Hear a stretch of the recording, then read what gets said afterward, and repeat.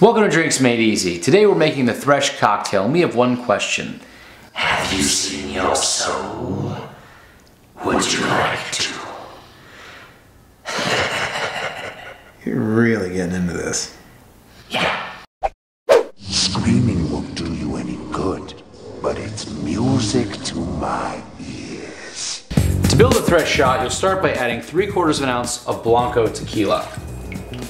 Next you'll add half an ounce of Midori, and this is where we're gonna get that sort of evil demon fire glow to the cocktail. One quarter of triple sec.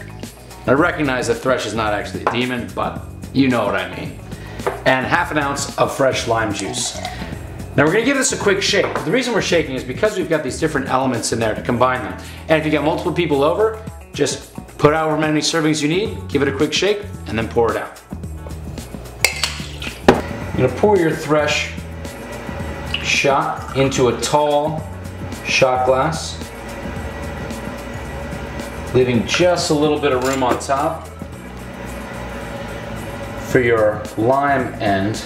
Now you just saved this from earlier when you were making fresh lime juice. You gotta cut off the end a little bit. So to save that, we're gonna pour a little 151 right on top.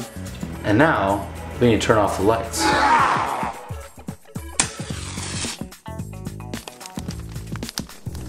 Is life, there is death, and then there is me.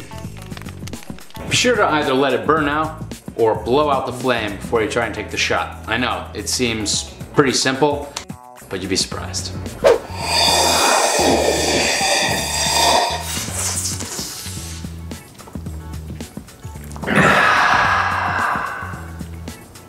Where's your shirt?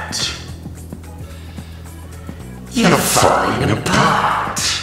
What to do with the pieces? Thanks so much for watching, and please remember to always drink responsibly because everybody likes to make friends. but no one likes to make them in a prison shower. We're gonna need to do another one of that. That was perfect. No, it wasn't.